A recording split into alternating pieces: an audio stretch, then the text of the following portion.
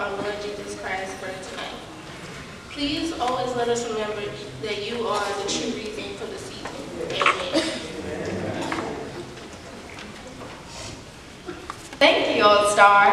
I've been working on my shininess. Good job. And this is a great night for all of us to look our best. Why is that? Because it's Christmas.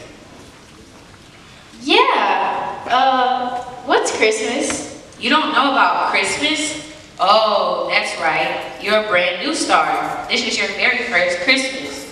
Yes. Is it your first Christmas too? Oh no, I've seen over 2,000 of them. Wow, 2,000? Is that a lot? Well, yes, it is. In fact, I am old enough to tell you about the very first Christmas, and I can explain why we still celebrate it even after all these years.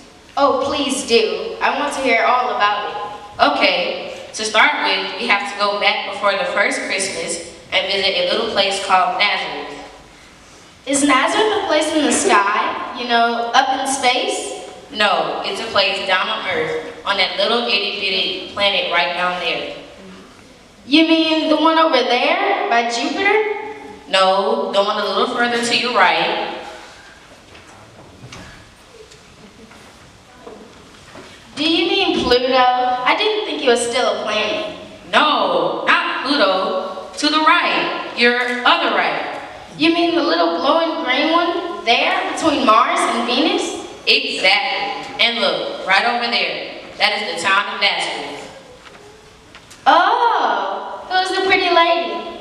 That's Mary. She is a virgin and she is pledged to be married to a man named Joseph. Joseph is a carpenter. He is also a righteous man. What is he doing?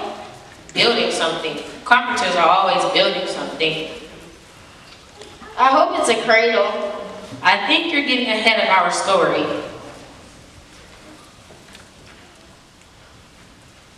Who's that other guy? He's all shiny, like us. That's Gabriel. He has, he's an angel. He has come to talk to Mary. Let's listen. Greetings, you who are highly favored. The Lord is with you. Do not be afraid, Mary. You'll give birth to a son, and you will call him Jesus. He'll be great, Son of the Most High. How good I am a virgin. The Holy Spirit will come unto you, and he'll be called Son of God. Even your cousin Elizabeth, in her old age, will also conceive a child, for nothing is impossible with God. I am the Lord's servant. May it be to me as you have said. What did all that mean? The angel told Mary that she is going to have a baby who will be the Son of God. And what did Mary say? She said yes. Oh, good. Now what? I like Mary. She seems really nice. Oh, she is. After the angel left her, Mary hurried to visit her cousin Elizabeth. Elizabeth, Mary. When Mary arrived, she found out that things were just like the angel had told her. Mary seems really happy to see Elizabeth. And just think, Elizabeth was going to have a baby in her old age. It was a miracle. Yes, and Mary wasn't the only one who was happy. Elizabeth was happy too. Listen to what she said to Mary.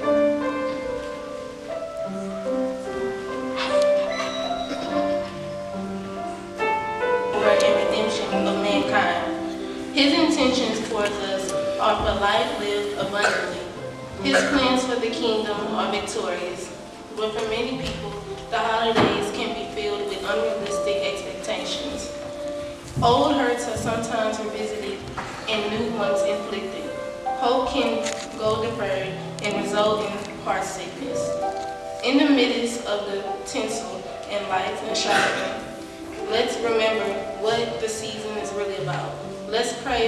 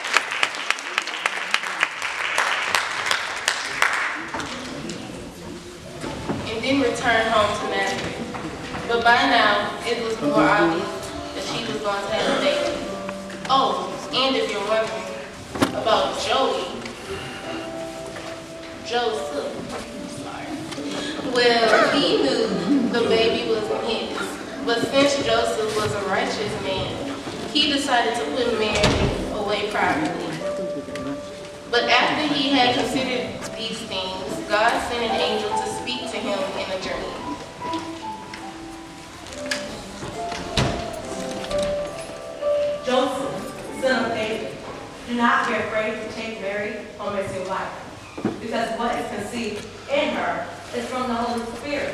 She will give birth to a son. You will call him Jesus. He will save his people from their sins. Arise, Joseph.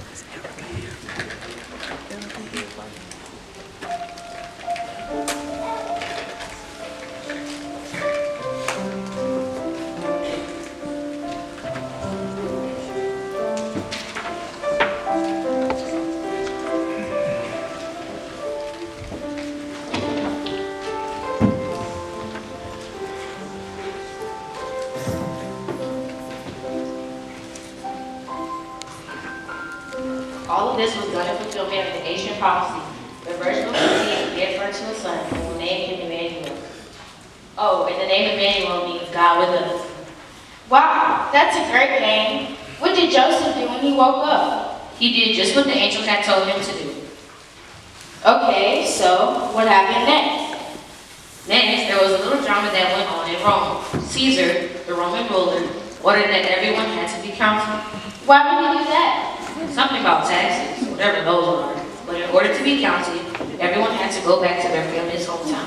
Sort of like a family reunion? Little, a little bit, but without the games or potato salad. That's too bad. I love potato salad.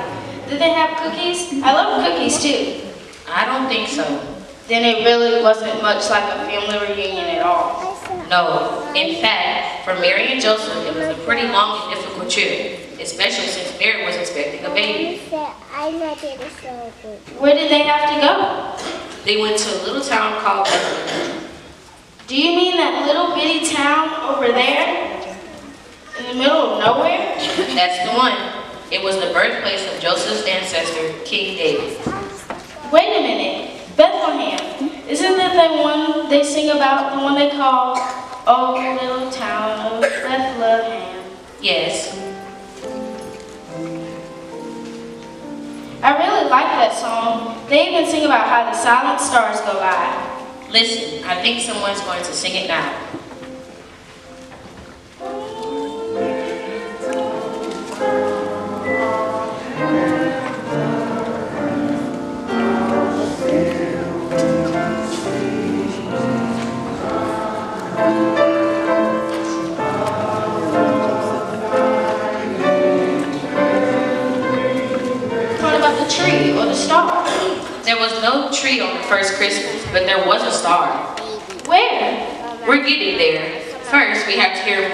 Mary and Joseph. Okay. So Joseph went to Bethlehem to be counted, and Mary went with him. Look, Mary and Joseph have arrived in Bethlehem. I hope they have somewhere nice to stay. Mary looks very tired.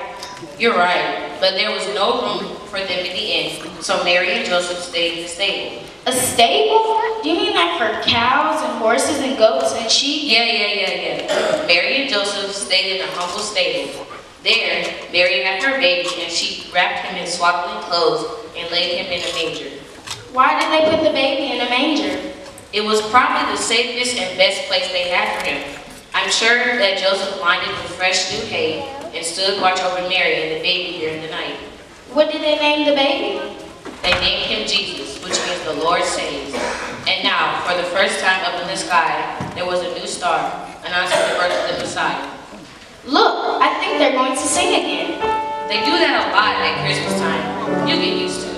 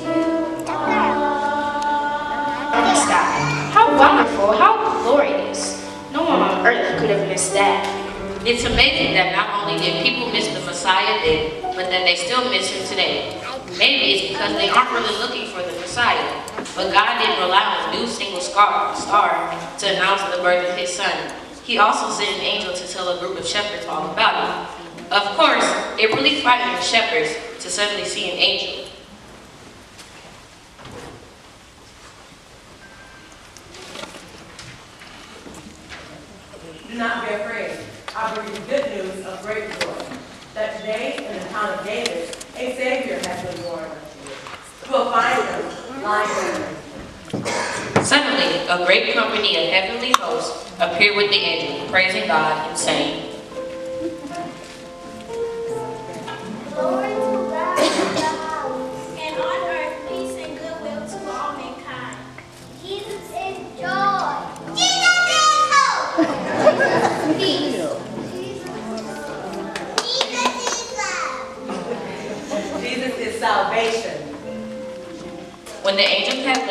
left them and gone back into heaven, the shepherds said to one another, Let's go to Bethlehem. Let's go see this baby. Yes, let's go to Bethlehem and see the baby.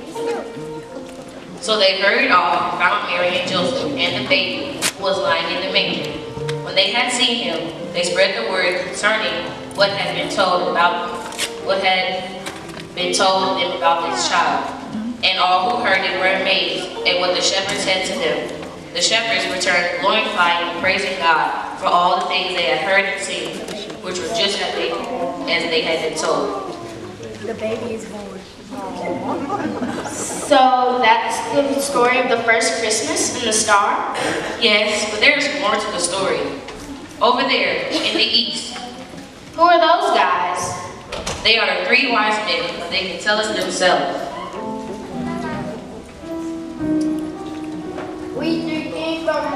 Morning star. Mary is a travel far. Follow the yonder stars. Wait a minute, wait a minute. What are they saying? It's from an old song about three wise men.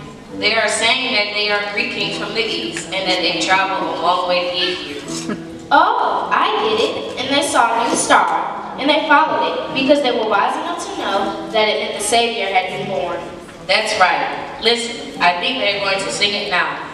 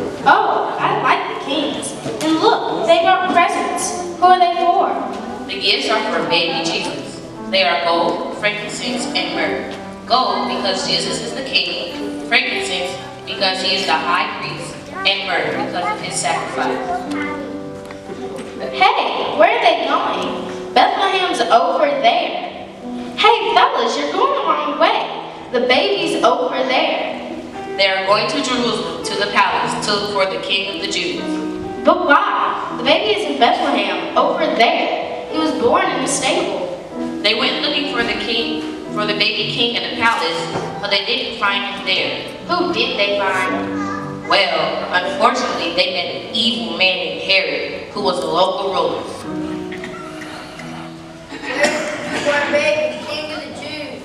We saw a star in the. We come to worship him. When Herod heard all of this, he was greatly distressed and all of Jerusalem with him.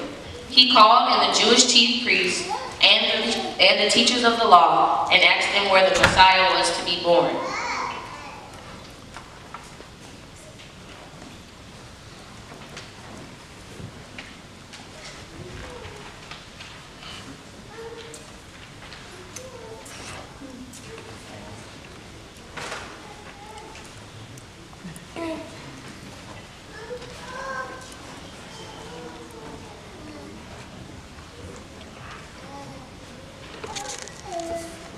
And Bethlehem in Judah, for this what the prophet has written. But you, Bethlehem, in the land of Judah, are by no means least among the rulers of Judah. For out of you will come a ruler who will be the shepherd of my people Israel. Go to Bethlehem and search carefully for the child. And once you find him, come and tell me that I may worship him too. So the wise men went on their way, and the star they had seen in the east went ahead of them until it stopped over the place where the child was. When they saw the star, they were overjoyed. On coming to the house, they saw the child with his mother Mary, and they bowed down and worshipped him. I bring gifts of gold. I bring gifts of frankincense. I bring gifts of myrrh. Then they gave their gifts and went back to their own country. But having been warned in a dream not to go back to Herod, they went home a different way. Why didn't they go back to see Herod? Because Herod didn't really want to worship, worship Jesus. He wanted to destroy him. That's horrible. Me, the great king, Herod, worship a baby? I think not. Yes, it was horrible. What happened to baby Jesus? An angel was sent to warn Joseph in a dream to take his family away to Egypt, where they would be saved. They escaped into the night before Herod found them. That's wonderful. Is that the whole story? There's a little more. When it was safe to return, the child, Jesus, and his family traveled back to Nazareth where he was raised. Jesus was the Son of God, and he did all the things that were prophesied about him. He lived a perfect life and died on the cross for all sin, and rose again to live forever. Now, he sits at the right hand of God the Father, and will one day, and one day he will come to judge the world. That's amazing. And how do you know all of this? Oh, I saw it all from up here in the sky. For you see, I am the new star that appeared that night. Really? You are the new star? But you're so old. So was the story, over 2,000 years old. But it is still true as today as it was on that very first Christmas. And that's why we still celebrate Christmas today. That's amazing. Thank you for telling me the story. I think I will shine a little brighter now that I know all of this. Well, you know what King David said. The heavens declare the glory of God. The skies proclaim the work of his hands. Day after day they pour forth speech. Night after night they display knowledge. There is no speech or language where the voice is not heard. Their voice goes out into all the earth. Their words to the ends of the world. Yeah, well said. Hey, is that the same King David? Yes, King David, the ancestor of Joseph, the one who was born in Bethlehem all those years ago. Wow, I like that guy. He has a real way with words. Okay, so what now? Look like, looks like it's time for another song. And cookies? I love cookies. Yes, yes, we'll get you some cookies. Come on.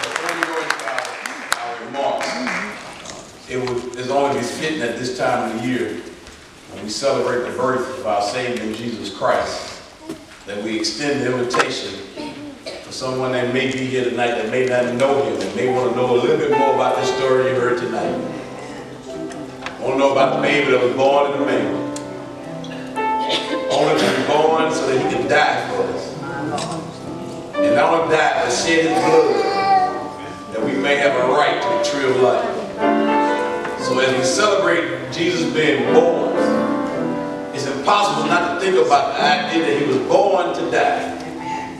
And not to die for just anybody, but to die for me and you. A man with no guilt, no stain, no sin. And yet he suffered, bled, and died for me and you. And maybe you're sitting here tonight and you say, you know what, I don't know that man named Jesus. I want to get to know him. But tonight we offer you an invitation not to join Sun Life Baptist Church, but to seek the fellowship of Jesus Christ. So that you can also have that same right to the tree of life. Is there anyone tonight as our deacon stand?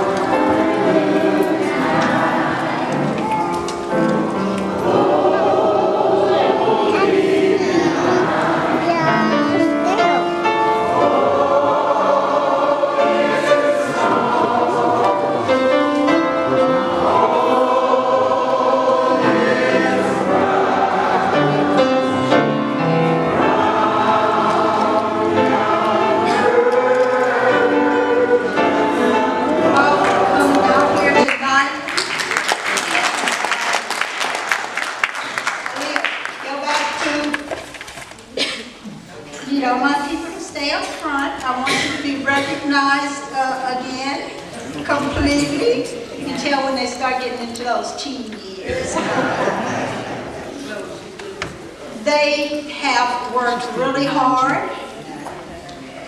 Many of them, it was their acting and their dancing debuts. So uh, please give them another round of applause.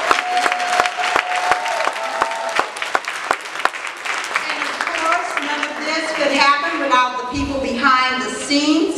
So I'm going to start with them. Although their names are in the program, uh, formally recognize them for our props and costumes. We had, uh, we had Brother Aaron Malone. And if you're here, just wave your hand or stand. Uh, Brother Mitchell Edwards. Brother Tedwood Gordon. And then last night, when everything wasn't coming together like we wanted it to, we had to call in the big guns. All the way from her studio in Hollywood came Miss Louise James.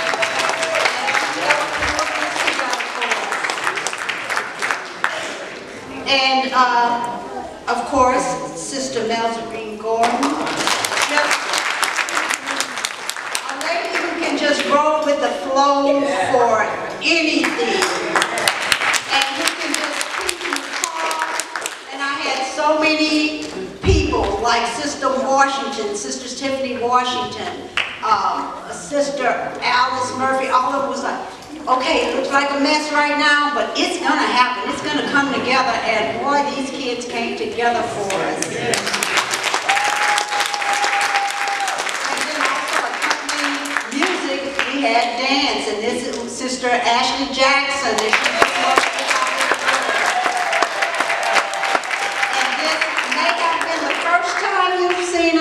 Trust me, it won't be the last. Okay, and uh, for our actors and actresses, our cast, I want you to take a bow when your name is called, and then you can go out in the audience and meet your, your family members who is here.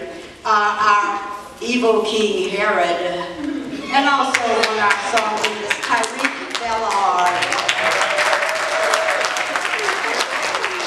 His royal scribe, Rajon Jackson. Our three wise men, and uh, did y'all hear those deep, deep voices they had? That's thanks to our brother Deacon Willie Lloyd. We have our three wise men, Darrell Washington, Darion Washington, Adonis Cannon. Some ladies who were playing dual roles tonight. They were not only our angel dancers, but they were also our angels, our heavenly host. Uh, we have Aylin Woodard, Prescott, Casey Gatlin, Alana Cannon, Joseph. Playing our shepherds, we had Corbin Harvey, Landon Latulis, and Corian Washington.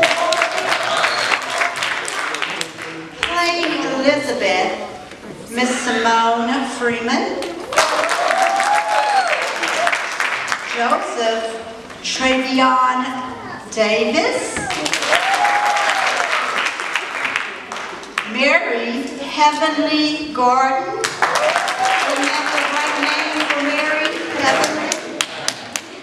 And our wonderful Gabriel Artez Gordon. Our new star and violinist Mackenzie Harvey. Our old star and also a dancer, Janiyah Woodard. And our mistress of ceremony, our hostess, Miss Aaliyah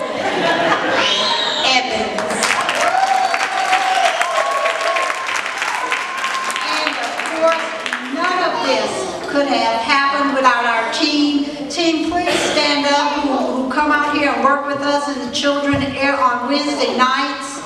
Uh, if you would please take a stand, because we started working on this right after Thanksgiving, but we didn't really have any good practices until the last three days. So I'd like all those people uh, to please stand. Come on, Miss Burton,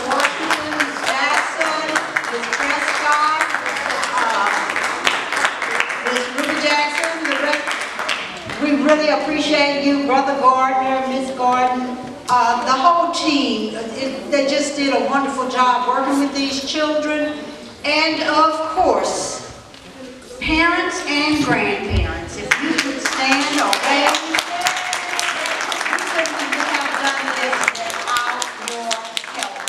Getting the children here, even with those last minute prac- uh, practices and the costumes.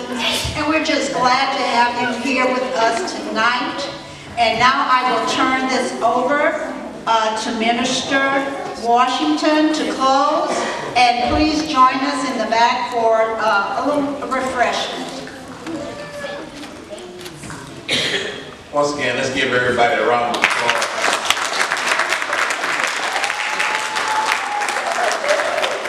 To God be the glory.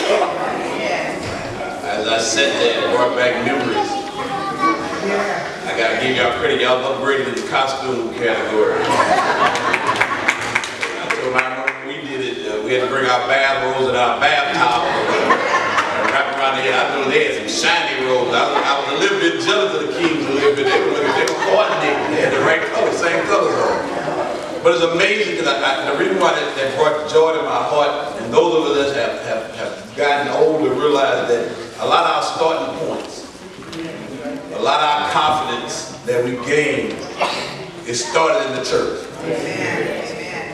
Don't think getting up in front of you guys is easy for some of them, because for some of them, this is their first time really standing up in front of you. But the wonderful thing about it is watching them, we know it won't be that last time. But we got some stars in the making. And so at the church, we got to keep growing and keep nurturing to the young people, to the youth department. Thank you for having the vision to bring back a program that reminds us of the reason for the season, but not only for the season, but to grow our kids for a, for a long time. So once again, thank you for that. Now, we do have refreshments in the back, um, but Sister Murphy asked me to do something. Uh, she said, I want to do something a little different. I said, well, what what we do a little different? She said, you know what, normally we do a, you know, blessing and a, and a benediction. She said, I want to do an altar prayer at Christmas time. I said, well, I said that, that, that's always required. You know, that's never out of order. Um, but we really need to realize the reason for the season. There are some people, as, as tough as we think we have it, the others have a lot tougher. And I always say, just imagine if they don't know who Jesus is, how tough it really is. Um, went by today, we saw Brother Lewis Gray in the hospital. Told me to tell all you guys he's fine, don't worry about it. He said, I'm tough, I'm good. Had his head turned to the side and told me to get out of there and go to church. So I got out of there and went to church. Um, but we also keep Sister Betty Gardner in our prayers. We got praise report on that. Uh, Gardner said took him a long time trying to get a bed. But he happy right now because they really didn't need the bed too bad after all. So um, the doctors do not see any major concerns, but they're going to stay over a little while. So we want to thank God for that. And there are many others uh, that you may know in your family that we may not know right now name that need our prayers. One thing in regard to your brother and sister Gardner, uh, Chris is on the way to pick them up in New Orleans. And, uh, when, as soon as this is over, we're gonna meet them around Lafayette up that road. Oh, so they on their way back home. Oh, that's a blessing. Uh, they good to talk. Prayer works. Prayer changes things. And so at this time, God, you give us a song, and we'll come to the altar.